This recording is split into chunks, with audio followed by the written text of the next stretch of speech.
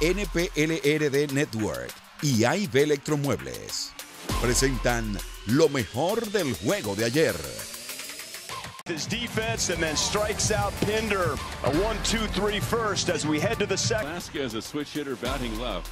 And he swings. It's a high fly ball to right. Oh man, that really carried, and Laureano had to go almost scaling the wall up to his tippy toes and just beneath the 362 mark. And that is out number two. And that very good defensive play by Elvis Andrus. It uses his glove to tag second, prevent him from that, and that's a rocket to right field. And Brandon Marsh 90 feet away at third base. Underestimate how good of a turn that was by Luis Rengifo out quick on the transfer. Smoke to left, a base hit. Marshall. Shot up the middle, a base hit. Jed Lowrie delivers. This game is tied at one. Hit. Hit well to left field. Being sent is Walsh. He's going to score. Angels take a 2-1 lead. Rendon off the bench comes through. Do you believe that?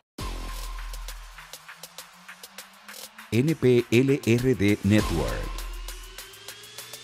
Síguenos en todas las redes sociales y suscríbete a nuestro canal de YouTube.